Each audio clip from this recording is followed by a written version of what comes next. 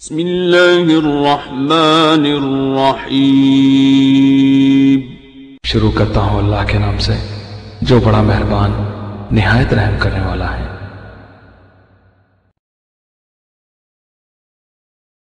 Islamic دعوی and guidance centre, الغات، سعودی عرب کی پیشکش۔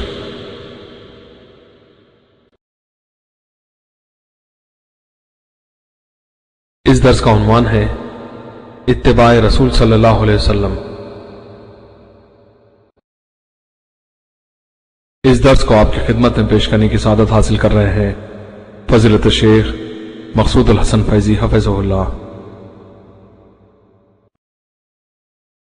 أعوذ بالله من الشيطان الرجيم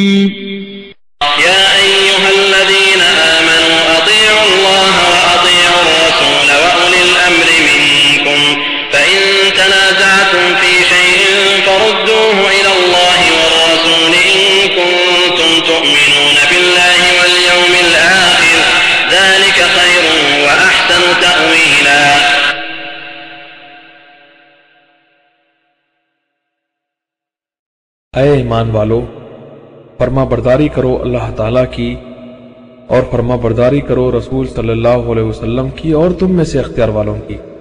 پھر اگر کسی چیز میں اختلاف کرو تو اسے لوٹاؤ اللہ تعالیٰ کی طرف اور رسول کی طرف۔ اگر تمہیں اللہ تعالیٰ پر اور قیامت کے دن پر ایمان ہو تو۔ أعوذ بالله من الشيطان الرجيم بسم الله الرحمن الرحيم هو الذي أرسل رسوله بالهدى ودين الحق ليظهره على الدين كله ولو كره المشركون. سبحانك لا علم لنا إلا ما علمتنا إنك أنت العليم الحكيم. رب اشرح لي صدري ويسر لي أمري. واحلل عقدة من لساني يفقه قولي. واحلل عقدة من لساني يفقه قولي. عزیز ساتھیوں اور دینی بھائیوں، یہ ربیع الاول کا مہینہ چل رہا ہے اور آج یہ ربیع الاول کی بارہویں رات ہے۔ بعض علماء کے قول کے مطابق نبی صلی اللہ علیہ وسلم کی پیدائش بارہ ربیع الاول ہی کو ہوئی تھی۔ حالانکہ بہت سے علماء اس طرف گئے ہیں کہ آپ صلی اللہ علیہ وسلم کی پیدائش بارہ ربیع الاول کے بجائے کس تاریخ کو ہوئی تھی؟ نو ربیع الاول کو ہوئی تھی۔ زیادہ صحیح یہ ہے کہ آپ صلی اللہ علیہ وسلم کی پیدائش نو ربیع الاول کون سا دن تھا؟ پیر کا دن تھا یوم الاثنین کہ آپ صلی اللہ علیہ وسلم کی پیدائش ہوئی ہے۔ عمومی طور پر مسلمان، خصوصاً وہ لوگ جو سنت اور بدعات کے اندر فرق کرنے کا اہتمام نہیں کرتے وہ خصوصی طور پر اس مہینے میں یا ان دنوں میں نبی صلی اللہ علیہ وسلم کی تاریخ پیدائش پر خوشیاں مناتے ہیں اور اس کے لیے جلسے جلوس اور مجالس منعقد کرتے ہیں جسے عید میلاد النبی کا نام دیتے ہیں۔ ہم آج ایک دوسرے نقطے پر آپ لوگوں کو لانا چاہ رہے ہیں جو بڑا اہم ہے۔ اللہ کے رسول صلی اللہ علیہ وسلم کا ارشاد ہے۔ مسلم شریف میں سنن ابن ماجہ میں حضرت ابو حریرہ رضی اللہ تعالیٰ عنہ سے روایت ہے کہ اللہ کے رسول صلی اللہ علیہ وسلم نے ارشاد فرمایا کہ بدا الاسلام غریباً وسيعود كما بدا فطوبى للغرباء۔ اس سے ذرا ادھر چلے ہیں تھوڑا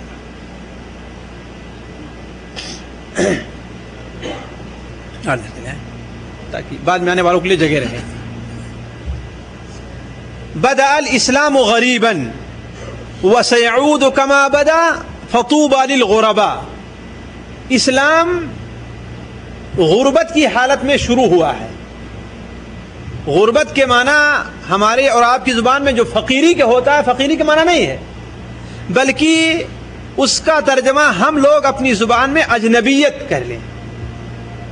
اسلام اجنبیت کی حالت میں شروع ہوا ہے۔ وہ سعود و کما بدا، اور جیسا شروع ہوا ہے، ویسا پھر بھی واپس ہو جائے گا۔ یعنی جس طریقے سے اسلام جب شروع ہوا ہے، تو اس کی حالت کیا تھی؟ بالکل اجنبیت کی تھی۔ ہر اعتبار سے اسلام اجنبی تھا۔ سیاسی اعتبار سے اسلام اجنبی تھا۔ اقتصادی اعتبار سے اسلام اجنبی تھا، دینی لحاظ سے اسلام اجنبی تھا، افراد کے لحاظ سے اسلام اجنبی تھا، فوجی لحاظ سے اسلام اجنبی تھا، ہر لحاظ سے اسلام اجنبی تھا۔ یعنی اجنبی کا معنی یہ ہے کہ اسلام کی مدد کرنے والا، اسلام کی نگرانی کرنے والا، اسلام کا ساتھ دینے والے لوگ کیا تھے؟ اس وقت موجود نہیں تھے۔ تو بد الاسلام غریباً، اسلام جو پھیلا ہے وہ، جو شروع ہوا ہے وہ اجنبیت کی حالت میں شروع ہوا ہے۔ وہ سعود کما بدا، اور جیسا شروع ہوا ہے ویسے واپس بھی ہو جائے گا۔ اسی لیے آخری زمانے میں ایک اور صورتحال پیش آئے گی۔ اللہ کے رسول صلی اللہ علیہ وسلم کے ارشاد ترمیدی شریف وغیرہ میں ہے کہ اسلام دونوں مسجدوں میں گھر کر کے رہ جائے گا۔ مسلم شریف میں بھی یہ روایت ہے۔ اسلام دونوں مسجدوں میں گھر کر کے رہ جائے گا یعنی اسلام کے صحیح ماننے والے وہ کہاں ہو جائیں گے؟ مسجد حرام اور مسجد نبوی کے اندر گھر کر کے رہ جائیں گے۔ باقی دنیا کی اور جگہوں کے اندر اسلام کے ماننے والے نہ رہ جائیں گے۔ اور اگر رہ بھی جائیں گے تو کیا رہیں گے؟ وہ نام کے رہیں گے۔ تو بد الاسلام غریبا، اسلام جو پھیلا ہے وہ غربت اور اجنبیت کی حالت میں پھیلا ہے۔ وہ سعود کما بدا، اور جس طریقے سے پھیلا ہے ویسے ہی پھر وہ لوٹ جائے گا۔ آپ صلی اللہ علیہ وسلم نے اس کے بعد ایک لفظ اور بیان فرمایا۔ وہ ذرا سوچنے کا ہے اور سننے کا ہے۔ آپ نے فرمایا فتوبا للغربا جو لوگ ایسے حالت میں اسلام کو اپنائیں، اسلام کی مدد کریں، اسلام پر قائم رہیں، ان کے لیے بہت ہی خوب ہے۔ وہ بہت ہی اچھے ہیں۔ ان کے لیے جنت ہے۔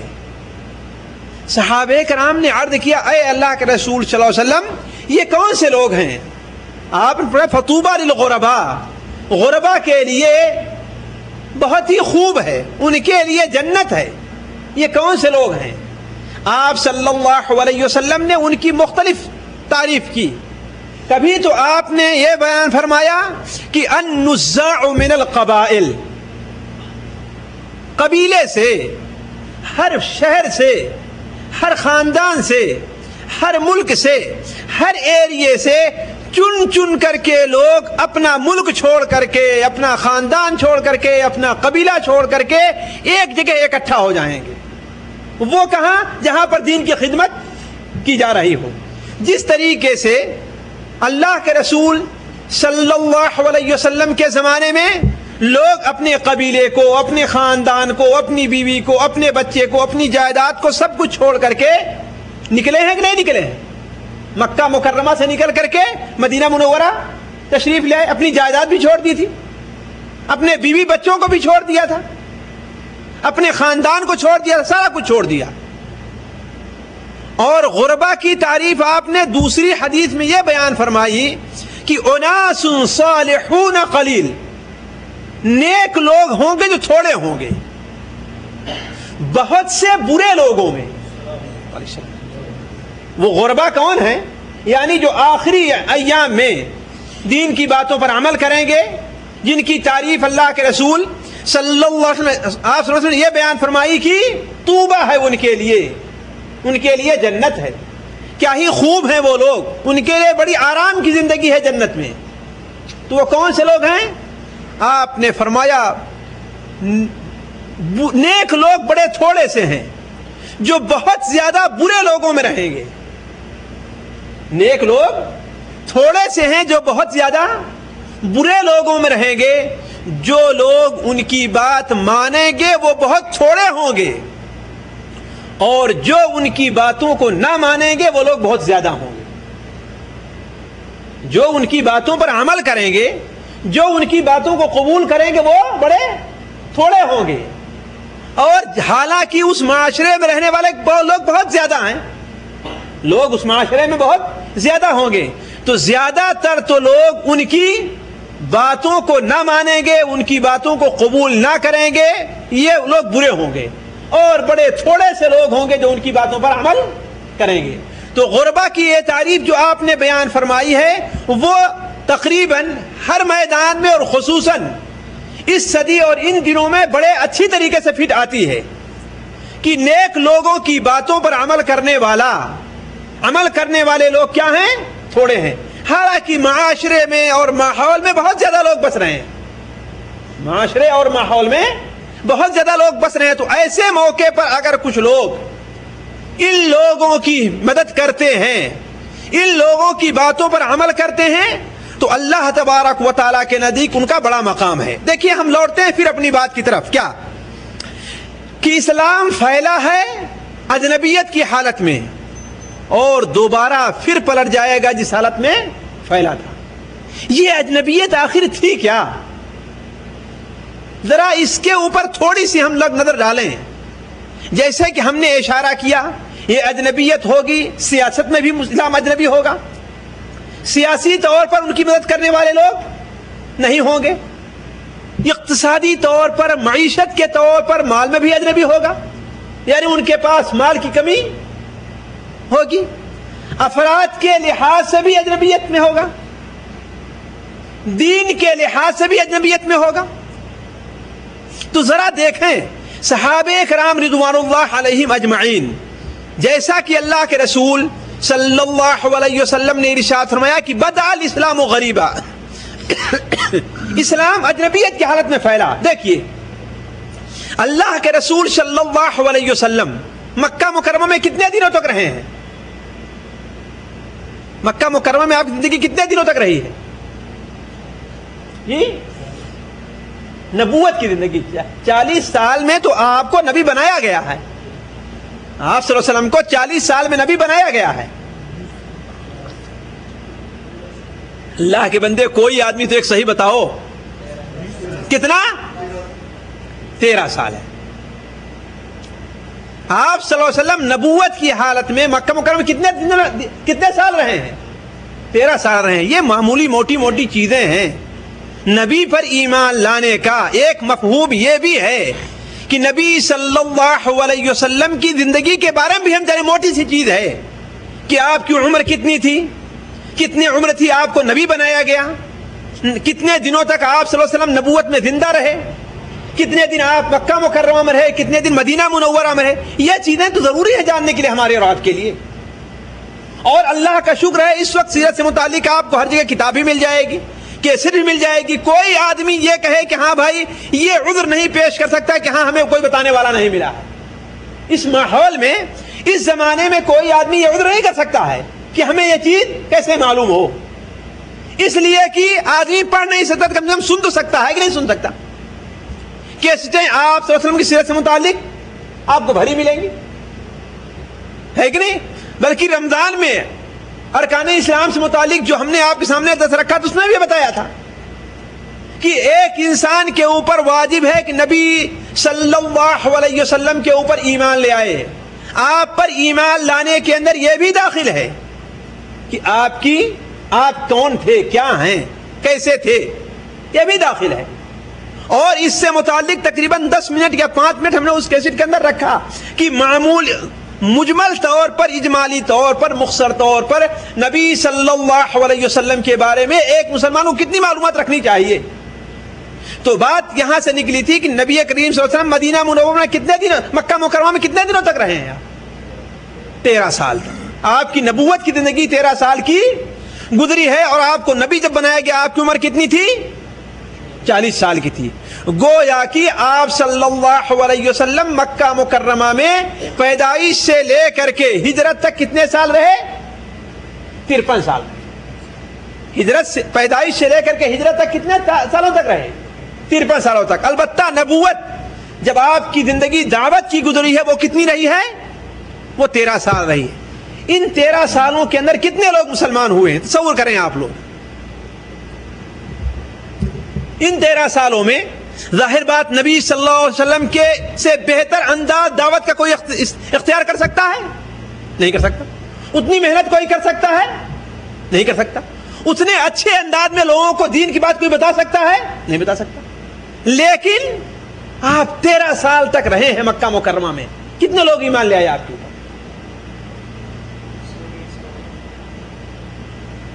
ہاں مالک، دو سو رہے گے، تین سو، کچھ بھی رہے ہوں گے، بچے، بوڑھے سب ملا کر کے۔ اس کی صحیح تعداد نہیں بھر ہوئی ہے، لیکن یہ ہے کہ کم سے کم پانچ سو تو نہیں پہنچے تھے۔ تیرہ سال کی زندگی بڑی، بہت بڑی زندگی ہوتی ہے۔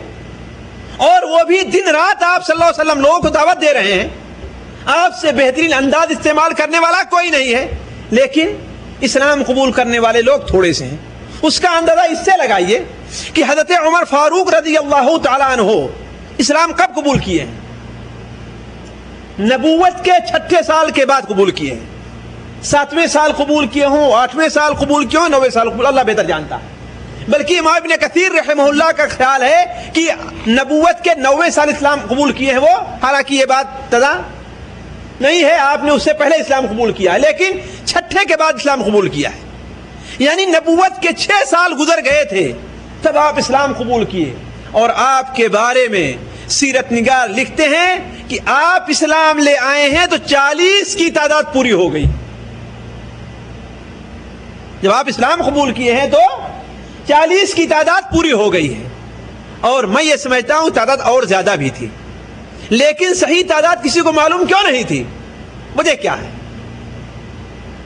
لوگوں کو صحیح تعداد کیوں نہیں معلوم تھی؟ اس لیے کہ کتنے ایسے لوگ تھے مسلمان تھے لیکن ظاہر نہیں کرتے تھے اپنے کو۔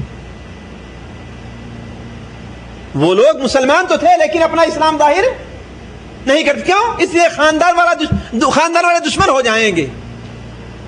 اپنے محلے والے دشمن ہو جائیں گے۔ اور سارے سالے دشمن تو تھے ہی۔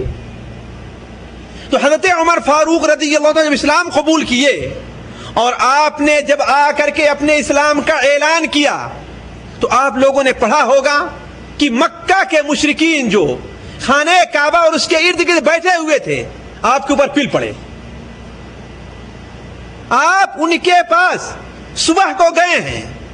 آپ اکیلے ہیں تو عمر فاروق رضی اللہ تعالیٰ عنہ۔ لیکن کافروں کی اور کافروں کی ایک جماعت ہے۔ سارے مل کر کے پل پڑے۔ آپ کو مار رہے ہیں۔ آپ ان کی مار کا جواب دے رہے ہیں۔ اور پوری مار پیٹ ہاتھ سے ہو رہی ہے یہاں تک کہ دوپہر ہونے لگی اور آپ اکیلے سب سے لڑتے لڑتے تھک کر کے بیٹھ گئے۔ تھک کر کے بیٹھ گئے، اس لیے کہ اکیلے ہیں۔ اور کسی مسلمان کی یہ ہمت نہیں پڑ رہی کہ انہیں بچانے کے لیے چلا ہے بن وائل، جو ابھی کافر تھا اور شاید حضرت عمر فاروق رضی اللہ کے مامو تھے، انہیں جب معلوم ہوا وہ بھاگ کر کے آئے ہیں۔ کہ ارے بدبختو کیا تم جان چاہتے ہو کہ اگر اسے مار ڈالے تو بنو ادی تمہیں چھوڑیں گے؟ چنانچہ لوگ بالکل ہٹ گئے۔ حضرت عمر فاروق رضی اللہ تعالیٰ ان سے لڑ رہے تھے اور جب تھک کر کے بیٹھ گئے، وہ مار رہے ہیں۔ اس وقت آپ نے کہا تھا کہ اے لوگوں، جو کچھ تمہیں کرنا ہے کر لو۔ اگر تین سو بھی آدمی مجھے مل جاتے یہ بیان کرنے کا میرا مقصد اگر تین سو لوگ بھی مل جاتے میرے ساتھ، تو یا تو مکہ مکرمہ میں ہم رہتے یا تو پھر تم رہتے۔ یعنی کہنے کا مطلب کہ اس وقت تک، سات سال، آٹھ سال تک مسلمانوں کی تعداد تین سو بھی نہیں پہنچ سکی۔ وہ مسلمان جو ہتھیار اٹھا سکیں، وہ مسلمان جو تلوار چلا سکیں، ان کی تعداد تین سو بھی نہیں پہنچی تھی۔ یہ تھا اجنبیت کا حال۔ یہ مسلمانوں کی اجنبیت کا حال تھا۔ اس حال میں اسلام شروع ہوا ہے۔ اسلام کی ابتدا جو ہے، اس حال میں ہوئی ہے۔ اور دین سے متعلق اجنبیت کا حال یہ تھا۔ دین سے متعلق اجنبیت کا حال یہ تھا کہ جو لوگ اسلام قبول بھی کر لیتے تھے، اسلام جو لوگ قبول کر لیتے تھے، وہ ظاہر میں قرآن نہیں پڑھ سکتے تھے۔ ظاہر میں آ کر کے نماز نہیں پڑھ سکتے تھے۔ اللہ کے رسول صلی اللہ علیہ وسلم، حالانکہ آپ کی طرف سے آپ کا خاندان مکمل طور پر دفاع کرتا تھا۔ آپ کے چچا آپ کی مدد کرتے تھے۔ لیکن اس کے باوجود آپ جب نماز پڑھنے کھڑے ہوتے تھے، تو بسا اوقات کیا ہوتا تھا؟ اللہ کے رسول صلی اللہ علیہ وسلم کے اوپر ایک بار سے بخاری شریف میں ہے۔ اقبا ابن ابی معاہد بدبخت نے کیا کیا؟ اونٹ کی اوجھڑی۔ اسے بتایا گیا کہ دیکھو محمد اللہ صلی علی محمد صلی اللہ علیہ وسلم، نماز پڑھ رہے ہیں، تم میں سے کوئی ہے جو اونٹ فلا قبیلے نے جو ذبح کیا ہے، اس کی جو اوجھڑی ہے، ظاہر بات بکری کی طرح نہیں ہوگی، بہت بھاری ہوگی۔ کیا کوئی ہے جو لا کر کے اس کے سر پہ رکھ دے چنانچہ رقبہ ابن معید بدبخت اٹھا اور لا کر کے آپ کے سر گردن پر رکھ دیا۔ اتنی بدنی تھی کہ آپ صلی اللہ علیہ وسلم اپنا سر نہیں اٹھا سکے۔ اور کسی مسلمان کی یہ طاقت نہیں ہوتی تھی، یہ ہمت نہیں ہوتی تھی کہ آ کر کے اسے ہٹا دے۔ اتنی غربت اجنبیت کا حال تھا، اتنی کمزوری کا حال تھا مسلمانوں کا۔ چنانچہ جب آپ کی بیٹی حضرت فاطمہ رضی اللہ تعالی عنہ کو یہ خبر ملی تو وہ بھاگتی ہوئی آئیں اور بچی تھی لیکن کسی بھی طریقے سے اس اوجھڑی کو دھکا دے کر کے آپ کے سر کے پر سے گرایا۔ اس کے بعد آپ نے اٹھے، آپ اٹھے۔ تو غصے میں آ کر کے آپ نے دعا کی، اے اللہ تعالیٰ قریش کے ان لوگوں کو ہلاک اور برباد کر۔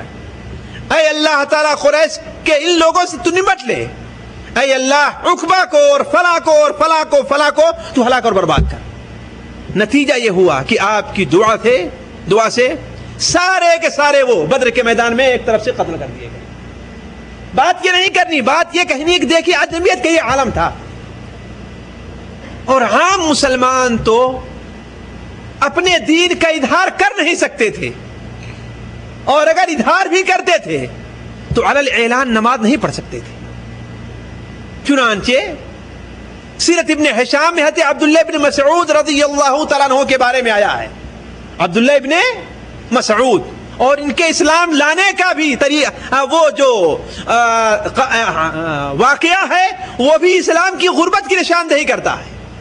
وہ بیان فرماتے ہیں کہ میں بالکل نوجوانی ابھی بالغ ہونے کے قریب میں ہو رہا تھا کہ اللہ کے رسول شاہ، میں رقبہ ابن معاہد کی بکریاں چرا رہا تھا۔ غربت کی حالت تھی، مسکین تھے، بکری چرایا کرتے تھے۔ لیکن اللہ تبارک و تعالیٰ کے نزدیک ان کا مقام کتنا بڑا تھا۔ تو کسی کو یہ دیکھ کر کہ ہاں وہ کوئی نیچا کام کر رہا ہے، کوئی بکری چرا رہا ہے، کوئی روڈ پہ جھاڑو لگا رہا ہے، کوئی حمام صاف کر رہا ہے، کوئی ورکشاپ میں کام کرتا ہے۔ تو یہ نہیں سوچنا چاہیے کہ ہاں وہ بڑا ذلیل آدمی ہے۔ آپ کو کیا پتا کہ وہ اللہ تعالیٰ کے نزدیک آپ سے بہتر اور اونچا مقام رکھتا اللہ تعالیٰ کے نزدیک آپ سے بڑا اور بہتر اور اونچا مقام رکھتا ہو۔ اللہ تعالیٰ جو ہے لوگوں کے اجتماعی طور پر ان کے کیا حالات ہیں اس طرف نہیں دیکھتا۔ لوگوں کے مال کی طرف نہیں دیکھتا۔ لوگوں کے پیسے کی طرف نہیں دیکھتا۔ بسا اوقات ایک شخص انسان جو اپنے خاندان کا سب سے دلیل انسان کیوں نہ مانا جائے، اپنے علاقے کا سب سے دلیل انسان کیوں نہ مانا جائے، ہو سکتا ہے کہ اللہ تبارک و تعالی کے نزدیک وہ سارے کے سارے لوگوں میں بہتر ہو اور اس گاؤں کے اوپر سے جو بلا تلی ہوئی ہے، ہو سکتا ہے اسی غریب اور مسکین بندے کی وجہ سے ہو۔ تو حضرت عبداللہ بن مسعود بکریاں چرایا کرتے تھے۔ وہ بیان کرتے ہیں کہ حضرت ابو بکر صدیق رضی اللہ تعالیٰ عنہ کو اور نبی صلی اللہ علیہ وسلم کو کفار مکہ نے بھگایا۔ انہیں تکلیف دینی چاہیے۔ تو وہ لوگ شہر چھوڑ کر کے بھاگ کھڑے ہوئے۔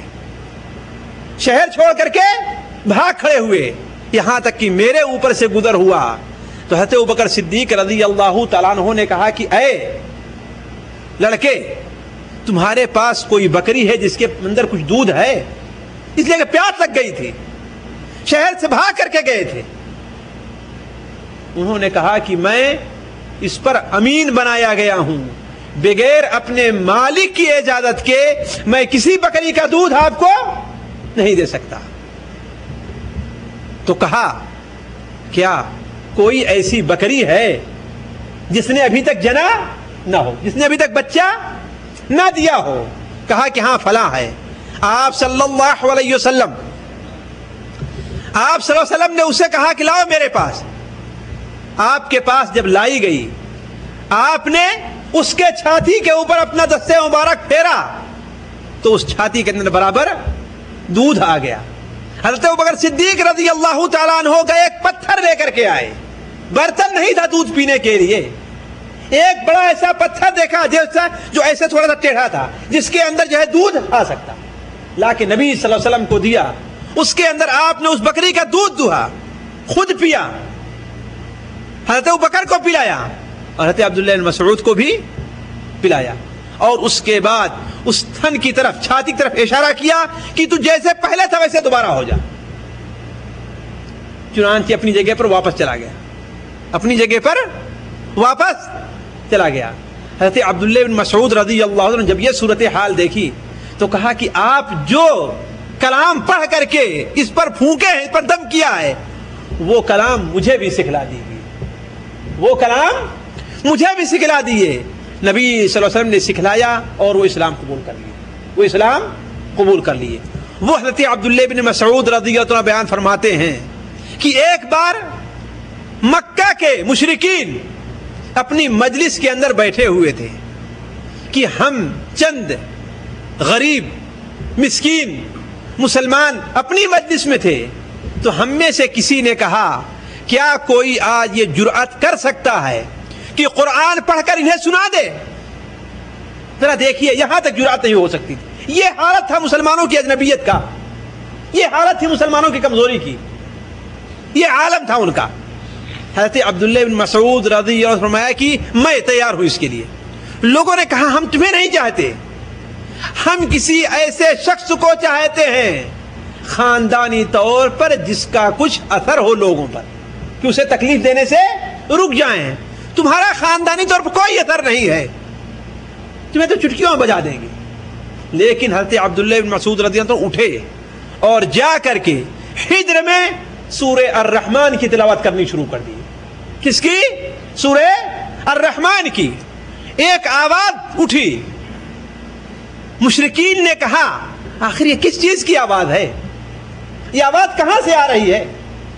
تو کسی نے کہا یہ تو وہ کلام لگ رہا ہے جو محمد محمد لے کر کے آئے ہیں۔ کہا اچھا کسی کی اتنی جرات ہے کہ اعلان پڑھنا شروع کرتے اس کلام کو؟ چنانچہ لوگ آئے اور عبداللہ بن مسعود کو مارنا پیٹنا شروع کیا۔ چہرہ للحان ہو گیا۔ وہ پڑھتے جا رہے تھے۔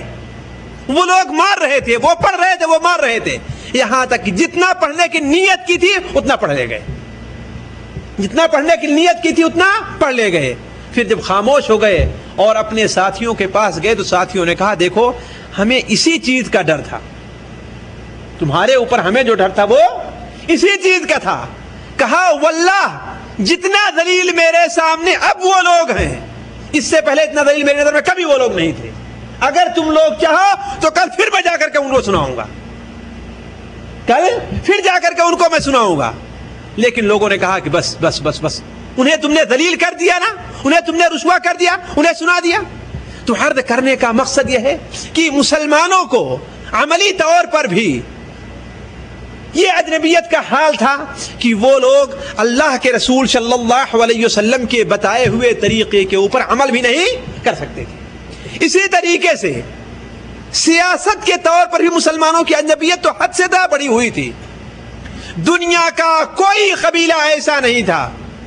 دنیا کا کوئی ملک ایسا نہیں تھا جو مسلمانوں کو قبول کرنے کے لیے تیار ہوں یہ باتیں میں آپ لوگوں کے سامنے اس لیے رکھ رہا ہوں کہ اسلام کے ساتھ جو اس وقت حالات پیدا ہو رہے ہیں کوئی نئی بات نہیں۔ ہے یہ کوئی نئی بات نہیں ہے۔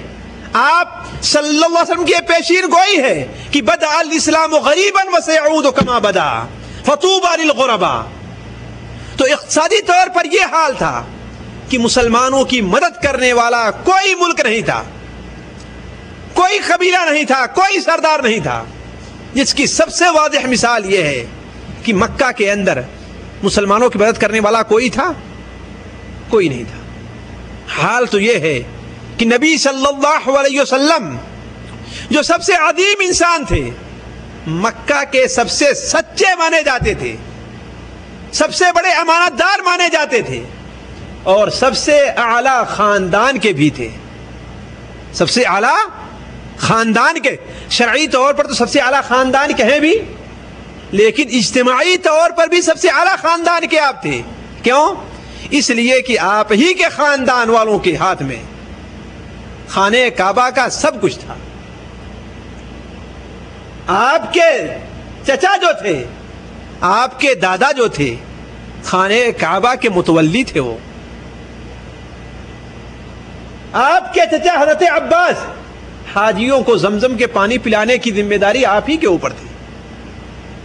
تو اجتماعی طور پر بھی ایک مقام تھا، ایک مقام تھا، لیکن پھر بھی مکہ کا کوئی بھی سردار، آپ کے چچا کے علاوہ کوئی بھی اللہ کے رسول صلی اللہ علیہ وسلم سیاسی پناہ دینے کے لیے تیار نہیں ہوا۔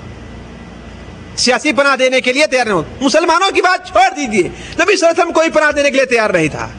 بلکہ اس کے خلاف آپ کے اوپر پتھر برستے تھے۔ آپ کو تکلیف دی جاتی تھی۔ آپ کو گالیاں دی جاتی تھی۔ آپ کو کیا نہیں کہا گیا۔ پاگل آپ کو کہا گیا۔ شاعر آپ کو کہا گیا۔ کاہن آپ کو کہا گیا۔ جادوگر آپ کو کہا گیا، وہ کون سے ایسے الفاظ تھے جس سے ایک آدمی کی تنقید ہو سکے، وہ آپ کے لیے استعمال نہیں کیے گئے؟ ہے کہ نہیں؟ اور صرف کہنے پر لوگ بس نہیں آئے رہے، بلکہ آپ پر ہاتھ بھی اٹھائے گئے۔ امام ابن کثیر رحمہ اللہ نے اپنی سیرت کے اندر لکھا ہے، حضرت انس مالک رضی اللہ عنہ کی روایت ہے کہ ایک بار نبی صلی اللہ علیہ وسلم صفا پہاڑی پر بیٹھے ہوئے تھے۔ آج صفا پہاڑی کا سمجھے کہ صرف نام ہے، ورنہ پہاڑی کے حیثیت سے کوئی چیز وہاں پر موجود نہیں ہے۔ لیکن اس وقت پہاڑی تھی۔ اس وقت پہاڑی تھی۔ اور آج سے پچاس سال پہلے بھی پہاڑی ہی تھی وہاں۔ بالکل عام پہاڑ تھا، لوگ پیدل بلکہ جدے پہن کر کے اپنا صحیح وغیرہ کیا کرتے تھے وہاں پر۔ آج اللہ جزائے خیر دے، جو لوگ اس کام کے لیے اٹھے ہیں حاجیوں کی آسانی کے لیے بہت کچھ کر دیا ہے۔ ورنہ پہلے کچھ نہیں تھا۔ پہلے صفا اور خانے کعبہ کے بیچ میں مکان تھے لوگوں کے۔ صفا اور خانے کعبہ کے بیچ میں مکان تھے، لوگ رہا کرتے تھے اس میں۔ لوگ رہا کرتے تھے۔ تو آپ صلی اللہ علیہ وسلم صحابہ پہاڑی کے اوپر بڑے غمگین بیٹھے ہوئے تھے۔ آپ کا جسم لہو لہان تھا، خون بہ رہا تھا آپ کے جسم سے۔ حضرت جبریل صلی اللہ علیہ وسلم تشریف لے آتے ہیں اور کہتے ہیں کہ اے محمد صلی اللہ علیہ وسلم، یہ کیا ہے؟ آپ نے فرمایا کہ آپ دیکھ نہیں رہے ہیں کہ میری قوم نے میرے ساتھ کیا کیا ہے۔ کیا معاملہ کیا میرے ساتھ میری قوم نے؟ حضرت جبریل السلام نے جب آپ کو پریشان دیکھا تو کہا، کیا آپ چاہتے ہیں کہ آپ کو کوئی نشانی میں دکھلاؤں؟ جس سے آپ کا عظیم ہونا، جس سے آپ کا بڑا ہونا ظاہر ہو جائے۔ آپ نے کہا کہ ہاں۔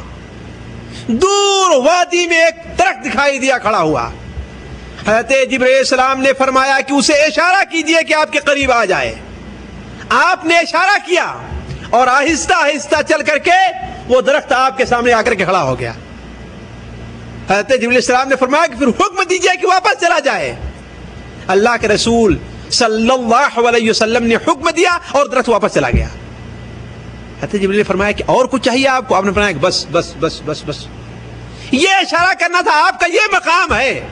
اور آپ ان کے مارنے سے، ان کی تکلیف دینے کی باتوں سے پریشان ہوتے ہیں۔ آپ کیوں تکلیف میں پڑتے ہیں؟ اللہ نے آپ کا بہت اونچا مقام رکھا ہے۔ تو عرض کرنے کا مقصد سیاسی طور پر نبی صلی اللہ علیہ وسلم کوئی مقام نہیں تھا۔ مکہ کے لوگوں نے آپ کی کوئی مدد نہیں کی۔ اور جب والد، جب جب چچا کا آپ کے انتقال ہو گیا جو چچا بوڑھے ہونے کے باوجود بھی اگرچہ کفر کی حالت میں تھے، لیکن پھر بھی نبی صلی اللہ علیہ وسلم کی مکمل طور پر مدد کیا کرتے تھے۔ رحمت رحمت للعالمین کے اندر لکھا ہوا ہے کہ ایک بار نبی صلی اللہ علیہ وسلم تشریف لے آئے گھر میں۔ آپ کے چہرے کے اوپر آپ کے جسم پر مٹی پڑی ہوئی تھی جسم سے خون بہ رہا تھا، آپ کی ایک بیٹی پانی لے کر کے آپ کے زخموں کو آپ کے اوپر سے مٹی کو دھوتے جاتی تھی اور روتی جاتی تھی۔ آپ نے فرمایا کہ اے بیٹی رو نہیں۔ اللہ تعالیٰ تمہارے باپ کو ضائع نہیں کرے گا۔ اللہ تعالیٰ تمہارے باپ کو ضائع نہیں کرے گا۔ اور فرمایا، جب تک ابو طالب زندہ تھے، قریش میرے خلاف اتنا نہیں ہو سکے اور مجھے اتنی تکلیف نہیں دے سکے جتنا اب دے رہے ہیں۔ آپ صلی اللہ علیہ وسلم کے چچا کے جب انتقال ہو گیا آپ تشریف لے گئے کہاں؟ طائف میں۔ کس لیے؟ سیاسی پناہ جسے اس زمانے میں کہتے ہیں۔ اس زمانے میں جسے سیاسی پناہ کہا جاتا ہے۔ آپ اس کے لیے تشریف لے گئے۔ لیکن وہاں بھی آپ کے ساتھ کیا معاملہ پیش آیا؟ آپ لوگوں نے بار بار سنا ہے۔ صرف اسی پر بس نہیں، بلکہ نبی صلی اللہ علیہ وسلم حج کے ایام میں جب لوگ حج کرنے آیا کرتے تھے تو آپ ایک ایک قبیلے والے کے پاس جا کر کہا کرتے تھے کہ اے لوگو، اللہ تبارک و تعالی نے مجھے تمہاری طرف اپنا نبی بنا کر بھیجا ہے۔ اے لوگو، میں توحید لے کر کے آیا ہوں۔ اے لوگو، اللہ کی وحدانیت کا اقرار کرو اور بتوں کی پوجا کو چھوڑ دو۔ اور اے لوگو، تم میں سے کون ہے جو میری مدد کرے، جو مجھے پناہ دے؟ تاکہ لوگوں تک میں اللہ تبارک و تعالیٰ کا پیغام پہنچا سکوں۔ لیکن کوئی بھی تیار نہیں ہوا۔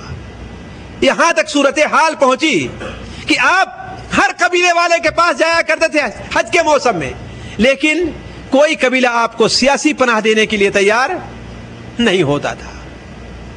جب آپ صلی اللہ علیہ وسلم بڑے تنگ ہو گئے، تو اس وقت اللہ تعالیٰ نے آپ کو معراج کرائی تھی۔ اور معراج کرانے کے اندر ایک بہت بڑا نقطہ تھا کہ اے محمد صلی اللہ علیہ وسلم، اگر یہ لوگ تمہیں نماز پڑھنے نہیں دیتے، تو تمہارا تو یہ مقام ہے کہ ایک لاکھ چوبیس ہزار انبیاء تمہارے پیچھے نماز پڑھ رہے ہیں۔ اے محمد صلی اللہ علیہ وسلم، اگر آپ کو یہ مکہ میں امن اور چمن سے نہیں رہنے دیتے، طائف والے آپ کے اوپر پتھر برساتے ہیں۔ تو آپ پریشان کیوں ہوتے ہیں؟ آپ کا مقام تو یہ ہے کہ ساتوں آسمان کے فرشتے آپ کو خوش آمدید کہہ رہے ہیں۔ نبی صلی اللہ علیہ وسلم کو جو معراج کرائی گئی تھی، اس کی ایک بہت بڑی حکمت یہ بھی تھی کہ آپ صلی اللہ علیہ وسلم کو تسلی دینا تھا۔ کہ آپ پریشان کیوں ہوتے ہیں؟ تو عرض کرنے کا مقصد یہ ہے کہ دین جو اجنبیت سے شروع ہوا ہے، اس کی ایک اجنبیت کا حال یہ بھی تھا کہ سیاسی طور پر دین بہت ہی اجنبی تھا۔ اور ایسے ہی سیاسی طور پر دین اجنبیت کی طرف پلٹ آئے گا۔ جس طریقے سے سیاسی طور پر اجنبی تھا دین، یہ حالات جو پیدا ہو رہے ہیں، ہمیں اور آپ کو اس سے پریشان نہیں ہونا چاہیے، بلکہ اس سے نپٹنے کے لیے ہمیں کوشش کرنی چاہیے۔ اور یہ سوچنا چاہیے کہ ہم دین کی مدد کس طریقے سے کر سکتے ہیں، جو تھوڑا سا بعد میں آپ کے سامنے میں رکھتا ہوں۔ اس کے علاوہ یہ دیکھیے کہ معاشی طور پر بھی دین کتنی اجنبیت کا تھا۔ نبی صلی اللہ علیہ وسلم، آپ صلی اللہ علیہ وسلم سے متعلق مسند احمد حسن ماجہ کے اندر روایت ہے۔ حضرت انس بن مالک رضی اللہ تعالیٰ بیان فرماتے ہیں کہ اللہ تبارک و تعالیٰ کے بارے میں جتنا مجھے تکلیف دی گئی ہے، اتنا تکلیف نہ تو کسی کو دی گئی ہے اور نہ کسی کو دی جائے گی۔ بخاری شریف میں بھی ہے۔ ما اوذی احد فی اللہ۔ جتنا مجھے اللہ تعالیٰ کے بارے میں تکلیف دی گئی ہے، اتنا کسی دوسرے کو تکلیف نہیں دی گئی۔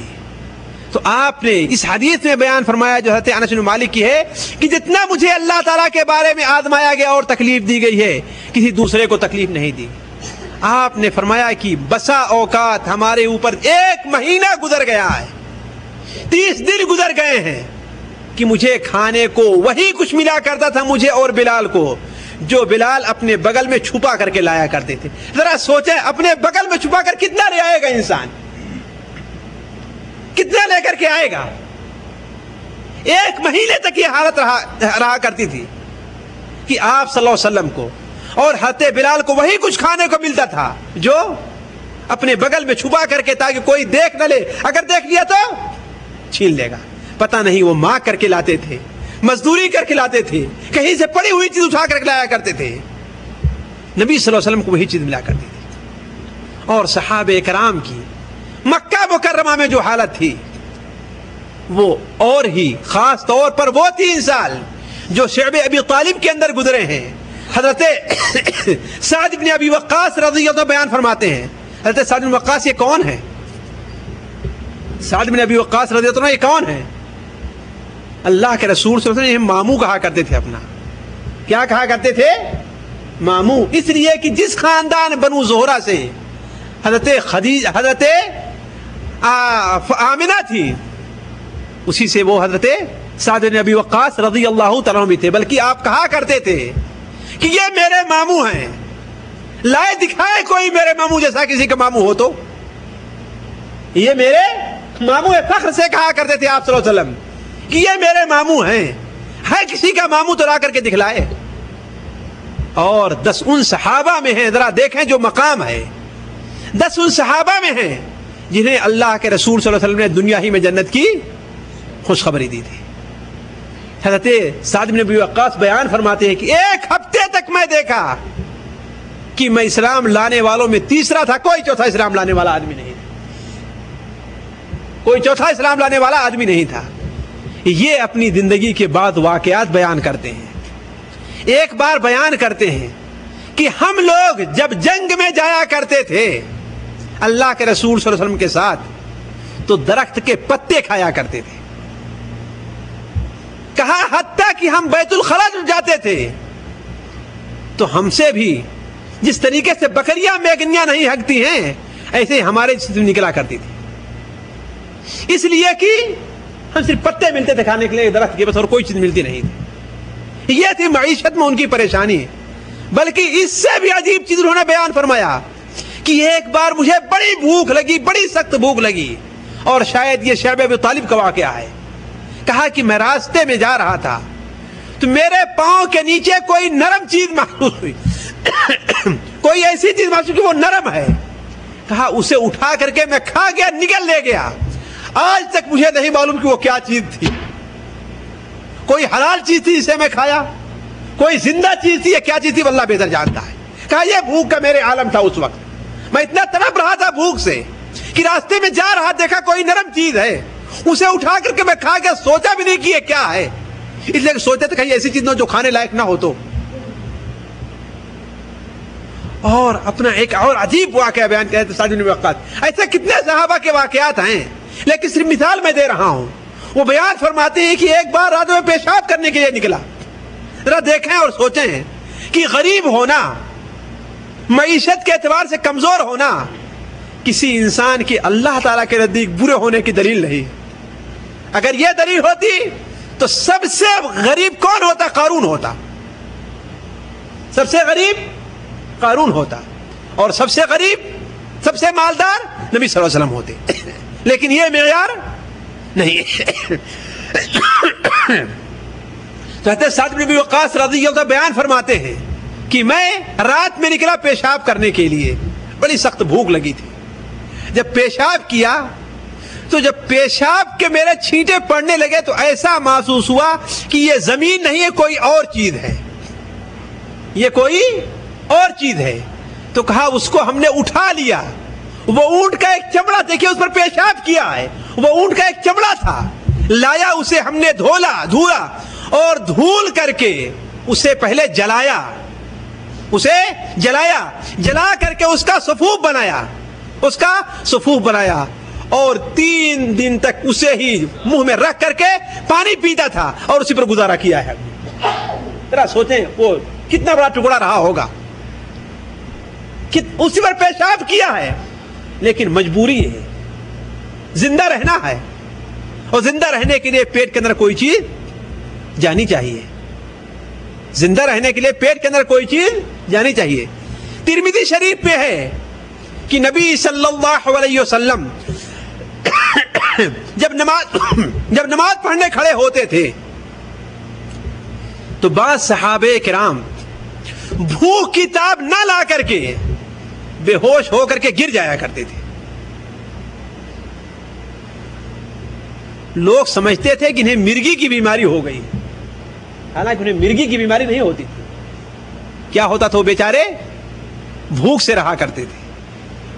اور کہا کہ ان کے پاس جو کپڑے رہا کرتے تھے، وہ اپنے کپڑے کو ایسے لے کر کے یہاں پہ لا کر کے پاس صرف ایک کپڑا رہا کرتا تھا۔ نبی صلی اللہ علیہ وسلم نے عورتوں کو منع کر دیا کہ سجدے سے اپنا سر اٹھانے میں جلد بازی سے کام نہ لیں۔ کون؟ عورتیں۔ سجدے سے اس لیے کہ آپ کے ساتھ مسجد نبوی میں عورتیں بھی نماز پڑھا کرتی تھی سجدے سے سر اٹھانے میں جلد بازی سے کام نہ لیں۔ کیوں؟ ہو سکتا ہے کہ کوئی مسلمان سجدے میں گیا ہوا ہے اور اس کا سطر کھل گیا ہو۔ اس لیے کپڑا تنگ تھا۔ کپڑا تنگ تھا۔ یہ حال تھا مسلمانوں کا۔ اور یہ حال تھی صحابہ کی غربت کا۔ تو عرض کر رہا تھا میں آپ لوگوں سے کہ دین کی اجنبیت کا یہ حال تھا کہ اللہ کے رسول صلی اللہ علیہ وسلم زمانے میں، خصوصاً مکہ مکرمہ کی جو زندگی تھی مسلمانوں کی، مسلمان سیاسی اعتبار سے بھی اجنبی تھا، اقتصادی اعتبار سے بھی اجنبی تھا، افراد کے اعتبار سے بھی اجنبی تھا۔ اور مسلمان دین پر عمل کے اعتبار سے بھی اجنبی تھا۔ ایک چیز اور آپ کے سامنے میں رکھتا چلوں۔ جو اس وقت کے حالات پر بہت فٹ پڑ رہا ہے۔ ان تمام چیزوں کے باوجود مشرقین نے لوگوں کو اسلام سے روکنے کے لیے کیا کیا طریقے استعمال کیے ہیں؟ وہ بہت طریقے ہیں۔ ان میں چند طریقے اگر آپ دیکھنا چاہیں تو شیخ صفی الرحمان حافظ اللہ کی کتاب تجلیات نبوت میں دیکھ لیں۔ ان کی کتاب تجلیات نبوت میں دیکھ لیں کہ مکہ کے مشرقین لوگوں کو دین سے روکنے کے لیے کیا کیا حربے استعمال کرتے تھے۔ ان میں سے دو ایک میں آپ کے سامنے رکھتا ہوں اور ذرا سوچیں کیا وہ اس زمانے میں فٹ پڑ رہا ہے نہیں پڑ رہا ہے۔ پہلا حربہ جو استعمال کرتے تھے، وہ حربہ یہ تھا کہ جو مسلمان لوگ مسلمان ہونا چاہتے تھے۔ جو لوگ مسلمان ہونا چاہتے تھے، ان کے دلوں کے اندر شکوک پیدا کرنا چاہتے تھے وہ لوگ۔ انہیں شک اور شبہ کے اندر ڈالنا چاہتے تھے۔ کہ ہر آدمی سے پڑھ لیتا ہے، لیکن قرآن کو سمجھنے کے لیے کہ کیا اس کے اندر ہے، اس کو ترجمہ سے، اس کو پڑھنے کے لیے، اس پر غور کرنے کے لیے کس پر لوگ زیادہ توجہ دیتے ہیں۔ دوسرا طریقہ اس نے یہ استعمال کیا تھا کہ چند لونڈیوں کو اس نے تیار کیا۔ چند لونڈیوں کو اس نے تیار کیا۔ اور وہ لونڈیوں کی مجلس جمایا کرتا تھا، جو ناچتی تھی اور گایا کرتی تھی یہ کس لیے تھا مسلمانوں کو؟ دین سے ان کے اور قرآن سے روکنے کے لیے۔ اور آج بھی آپ نے دیکھا ہوگا کہ وہ ملک جو دنیا کا گنڈا ہے اور جو دنیا کے اندر امن کے نام سے فساد پھیلانا چاہتا ہے، جب ایک اسلامی ملک پر قبضہ کرتا ہے، تو وہاں پر اس نے کیا کچھ کیا ہے؟ بلو فلمیں تک لا کر کے مفت تقسیم کیا ہے مسلمانوں کے بیچ میں۔ آخر یہ کیا، یہ بے نہیں، وہی صورت نہیں ہے جو مکہ کے مشرقین نے استعمال کیا تھا۔ ومن الناس من يشتري لهو الحديث ليضل عن سبيل الله بغير علم ويتخذها هزوا۔ اسی بارے میں یہ آیت نازل ہوئی ہے۔ تو عرض کرنے کا مقصد یہ ہے کہ جو غربت، اس غربت کی حالت میں جو جو طریقے اس وقت استعمال کیے جا رہے تھے، آج بھی بین ہی وہی طریقے استعمال کیے جا رہے ہیں۔ اب سوال یہ ہے کہ ہمیں اور آپ کو کرنا کیا چاہیے؟ یہ ایک سوال ہے۔ کیا یہ باتیں صرف سننے کی ہیں اور ختم ہو جانے کی ہیں؟ آپ نے فرمایا ہے کہ اسلام، آپ صلی اللہ علیہ وسلم نے فرمایا کہ اسلام غربت کی حالت میں پھیلا ہے۔ اجنبیت کی حالت میں پھیلا اور دوبارہ ویسے پلٹ جائے گا۔ بس معاملہ ختم ہو گیا۔ ایسا نہیں ہے۔ نبی صلی اللہ علیہ وسلم نے جہاں پر ان حالات سے متعلق ہمیں اور آپ کو متنبع کیا ہے، ہمیں اور آپ کو ان حالات سے نپٹنے کے طریقے کی طرف اشارہ کیا ہے۔ مثال کے طور پر ایک حدیث۔ مسند احمد اور ابو داود میں ثوبان رضی اللہ عنہ سے مروی ہے۔ ذرا غور کریں کہ یہ حدیث اس وقت کتنی بھیڑ پڑ رہی ہے ہمارے اور آپ کے اوپر۔ اللہ کے رسول صلی اللہ علیہ وسلم نے ارشاد فرمایا یوشک ان تداعا علیکم الامم کما تداعا الاکلت الى قصعتها۔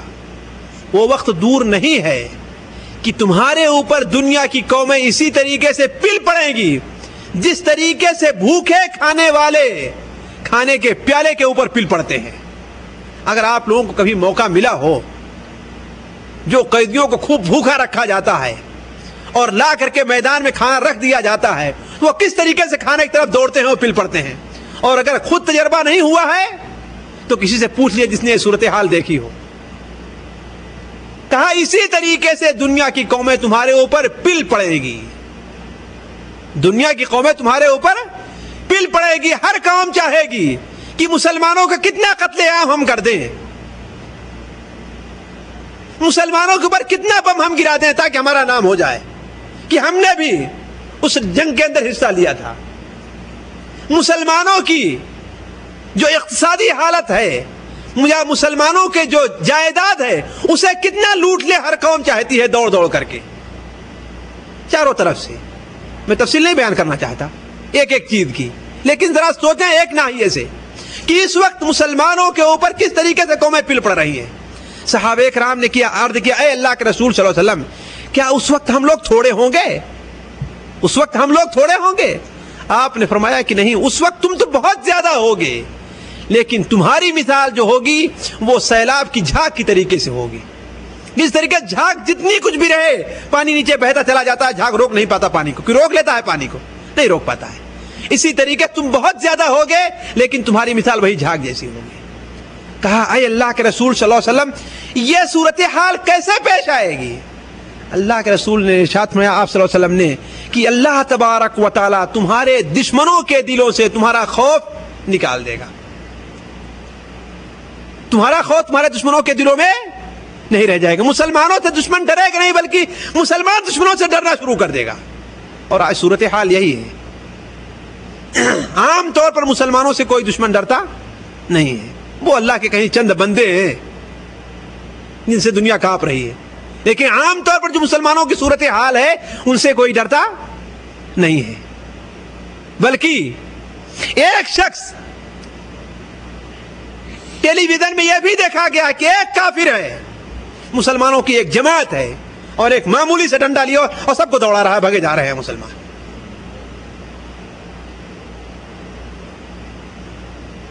آپ صلی اللہ علیہ وسلم نے ارشاد فرمایا کہ اللہ تبارک و تعالی تمہارا خوف دشمنوں کے دلوں سے نکال دے گا۔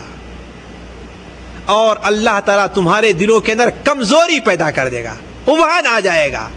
صحابہ کرام نے کہا کمزوری کیا چیز ہے؟ تو آپ صلی اللہ علیہ وسلم نے ارشاد فرمایا کہ دنیا کی محبت تمہارے دلوں میں آ جائے گی اور موت سے تم لوگ نفرت کرنے لگو گے، ڈرنے لگو گے۔ جہاں موت سے نفرت پیدا ہوگی اور دنیا کی محبت آ جائے گی۔ اس وقت دنیا کا یہ حال ہوگا، لیکن ایک بات اور عرض کر دوں۔ یہ امت کی عمومی حالت ہوگی، ورنہ امت کی ایک جماعت قیامت تک ایسی رہے گی جو دین پر رہ کر کے لڑائی کرتی رہے گی اور دشمن اس سے ڈرتا رہے گا۔ یہ دنیا کے مسلمانوں کی عمومی حالت کا بیان ہو رہا ہے۔ ابو داؤد شریف کی ایک روایت میں اور آپ نے بیان فرمایا تھا، عبداللہ ابن عمر سے مروی ہے کہ آپ نے بیان فرمایا صلی اللہ علیہ وسلم، اذا تبایعتم بالعینہ جب خرید و فروخت کے اندر تم مشغول ہو جاؤ گے۔ وَأَخَذْتُمْ عَدْنَابَ الْبَقَرِ۔ اور بیلوں کی دم تم پکڑ لو گے یعنی کھیتی باڑی کے اندر مشغول ہو جاؤ گے۔ وَتَرَكْتُمُ الْجِهَادَ فِي سَبِيلِ اللَّهِ۔ اور اللہ تعالیٰ کے راستے میں جہاد کو تم چھوڑ دو گے۔ آج مسلمان جہاد کے نام سے ڈرتا ہے۔ اور جتنے یہاں پر ہمارے بھائی موجود ہیں، ان میں سے پوچھا جائے کہ تم نے کبھی جہاد کے لیے سوچا ہے؟ اور سوچا ہے، زبان سے ہر آدمی کہے گا ہم نے سوچا ہے۔ ہر آدمی کہے گا ہم نے سوچا ہے۔ لیکن پوچھا جائے، کیا تیاری کی ہے تم نے؟ تو یہ بھی نہیں، وہ تو ورزش بھی نہیں کر پاتا ہے وہ۔ کہ موقع ملے تو اس کے جسم کے اندر پھرتی رہے، یہ بھی نہیں کر پاتا مسلمان۔ جبکہ اس کو دنیا کی کوئی قوم نہیں منع کرتی ہے۔ دنیا کا کوئی ملک اس سے نہیں روکتا تمہیں۔ کہ کم سے کم ورزش تو کرے مسلمان۔ اس کے جسم کے اندر پھرتی تو ہے، سستی تو نہ رہے۔ ابھی بیس پچیس سال کی عمر ہے، لیکن جوڑوں میں درد ہوتا ہے۔ ہے کہ نہیں ہے؟ بیس پچیس سال کی عمر ہے، لیکن جوڑوں میں درد پیدا ہوتا ہے۔ بیس پچیس سال کی عمر ہے، لیکن شوگر کی بیماری ہو گئی ہے۔ کیوں؟ اسے ایک محنت نہیں کرتا ہے۔ محنت نہیں کرتا ہے۔ تو وہ ترک تم الجہاد فی سبیل اللہ اور اللہ تعالیٰ کے راستے میں جہاد کرنا تم چھوڑ دو گے۔ تو اللہ تبارتا تمہارے اوپر ذلت کو مسلط کر دے گا۔ اللہ تمہارے اوپر ذلت کو مسلط کر دے گا۔ اور یہ ذلت اس وقت تک ختم نہیں ہوگی جب تک کہ تم اپنے دین کی طرف نہیں پلٹو گے۔ یہ علاج بنایا ہے نبی کریم صلی اللہ علیہ وسلم، دنیا کے اندر کوئی دوسرا علاج نہیں ہو سکتا ہے۔ کوئی دوسرا علاج نہیں ہے۔ نہ علاج امریکہ کے پاس ہے، نہ علاج ہندوستان کے پاس ہے۔ نہ علاج رشیا کے پاس ہے، کسی کے پاس علاج نہیں ہے۔ علاج اگر ہے تو کس کے پاس ہے؟ حضرت محمد صلی اللہ علیہ وسلم کے پاس ہے۔ وہ کیا علاج ہے؟ یہاں تک اپنے دین کی طرف تم لوگ پلٹ نہ آؤ۔ اور جہاں دین کی طرف پلٹو گے، اللہ تبارک و تعالیٰ تمہاری مدد کر دے گا۔ تو یہ علاج ہے۔ اسے استعمال کرنے کی ضرورت ہے کہ مسلمان اپنے دین کی طرف پلٹے۔ اور اگر دین کی طرف نہیں پلٹا، تو اس کی ذلت کبھی ختم ہونے والی نہیں ہے۔ وہ دین کی طرف پلٹے ہی تھے عبداللہ مسعود رضی اللہ تعالیٰ عنہ کیا کہہ رہے تھے کافر لوگ مار رہے تھے، لیکن جتنا انہیں پڑھ کر سنا تھا پڑھ کر سنا کر کہتے ہیں۔ یہ دین پر قائم رہنے ہی کی مثال ہے۔ کہتے حضرت عمر فاروق اکیلے تھے اور ساری قوم کے لوگ مار رہے ہیں۔ وہ کہتے ہیں، ارے بدبختو، کیا میرا بگاڑو گے؟ کاش کہ مجھے تین سو ایسے لوگ مل جاتے ہیں۔ تو آج تمہیں مکے میں رہنا، تمہارا دشوار کر دیتے ہیں۔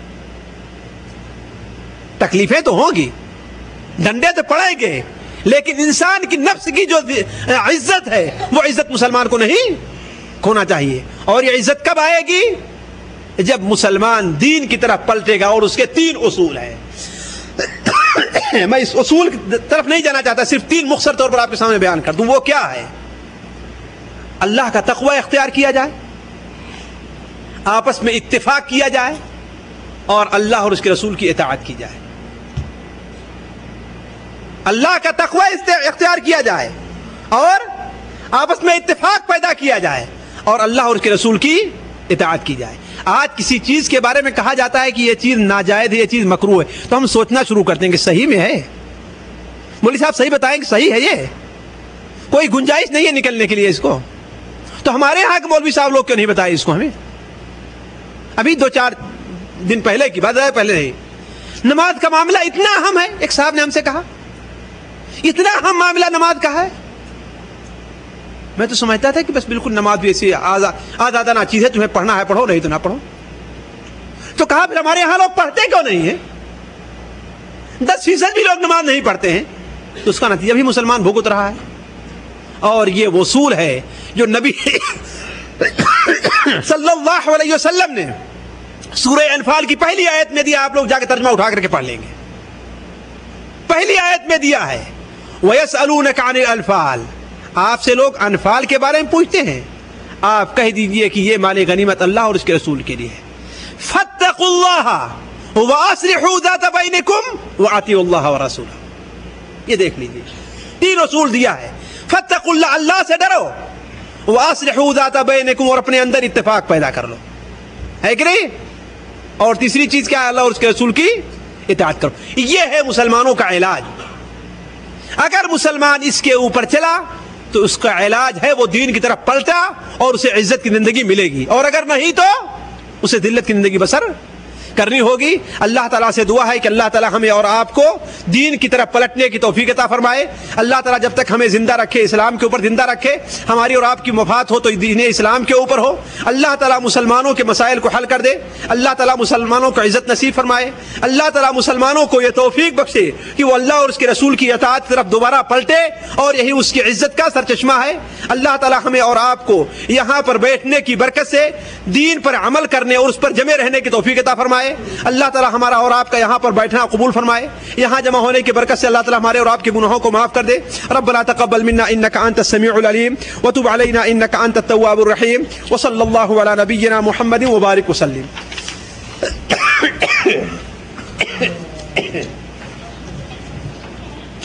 رکھ دو اس میں، چلو۔ ہاں بتائیں۔ جی؟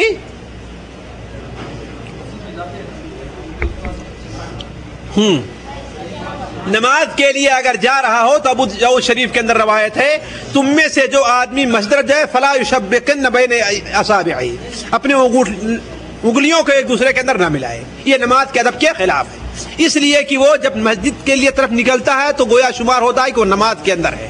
لہذا یہ ایسا نہیں مسجد میں بیٹھا بھی ہے تو ایسے نہیں کرنا چاہیے۔ یہ بھی نماز کے ادب کے خلاف ہے۔ اس کی سراحت ساتھ مانیت نہیں آئی ہے، البتہ اس کے خلاف اسے پرہیز کرنا چاہیے۔ البتہ اس کی سراحت ساتھ مانیت آئی حدیث شریف۔